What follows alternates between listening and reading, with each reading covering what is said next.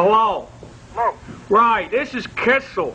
I want you to, to put a hairpiece on a fella I got working for me. I own a nice big store, and I got some kid I took off the street, but he looks so silly. I told him, why don't you get one of them hairpieces on? But he gets pretty offended because you don't speak English too good. Well, sure, we can fix him up. I met him on the street. He was picking daisies and whatnot. I said, hey, you want a job? I'll give you a job. And he said, I don't know what he said, truthfully. I can't understand him. Uh-huh. Yeah, but what he needs, he needs a good hairstyle, because I, I don't know. I don't know. It's Something about his appearance. Well, you want us Right, his name, his name is Pico or something like that. Pico? Right. Hello? Hello? Hello? Yeah, this is Pico. Yeah, Pico. He wants to make me get a hair on top of my head because it's, he don't like my hair the way it is now. Well, that's good. We can fix you up. I have one. Okay, how does it go? You, what did you do, the plugs or something like that? No, no, I got to fix you up with a nice hairpiece. Okay, that sounds good. I put it on top of my head because I uh, don't, what do you do? How do you do it? Well, you got this tape. and You just stick it up there and it stays there.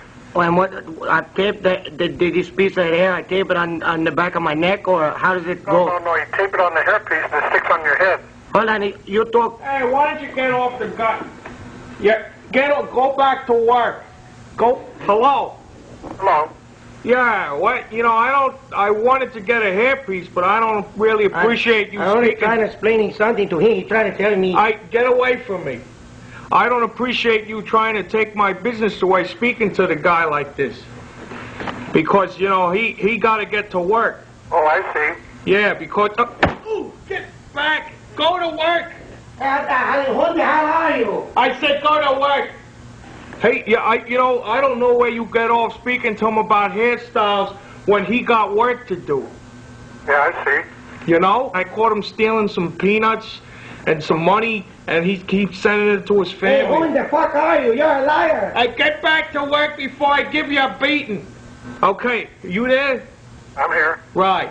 I, you know, uh, yesterday I kicked him so hard that he, he would. I, I don't understand. He's acting crazy now. Uh-huh. Yeah, because I kicked him in his in his little hiney. Oh, I see. Right. Okay, you're, you're starting to, you're really getting on my case now. Okay, I'll see you later. Okay.